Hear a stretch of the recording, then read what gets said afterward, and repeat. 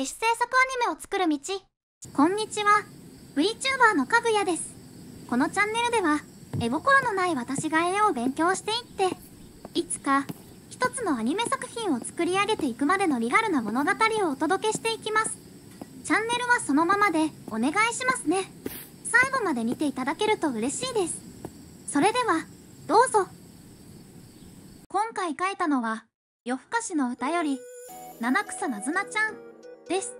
ありふれた日常が舞台でありながらも主人公のなずなちゃんは吸血鬼空を飛べるとっても強いとかまさにファンタジーの世界観ですね。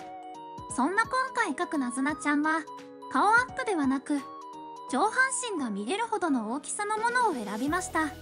理由は顔と体のバランスを意識したいと思ったからです。顔だけの場合顔パーツ間でのバランスさえ意識すればいいのですが体も入ってくるともう少し引いてみて顔全体の大きさのバランスと体とのバランスとの調整が必要になってきます。今回初めてそこを意識した絵に挑戦しましたが思った通りとても難しかったです。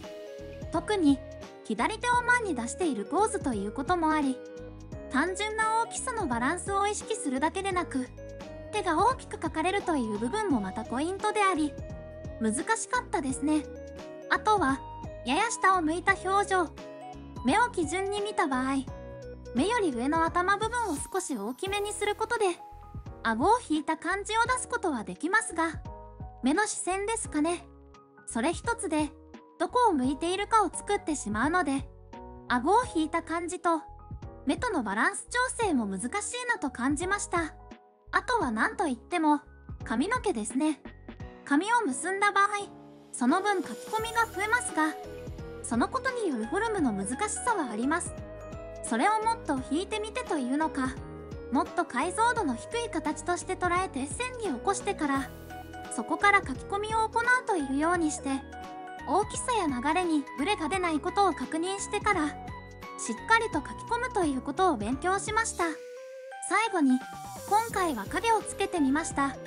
まだソフトの使い方も影の付け方も分かっていないのでもう少しレベルアップしてから改めてしっかりと勉強していきたいなと思っています。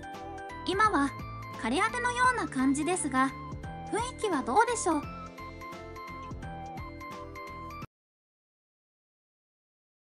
最後まで見てくださってありがとうございます。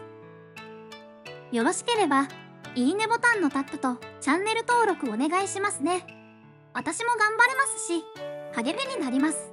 それではまたお会いしましょう。バイバイ。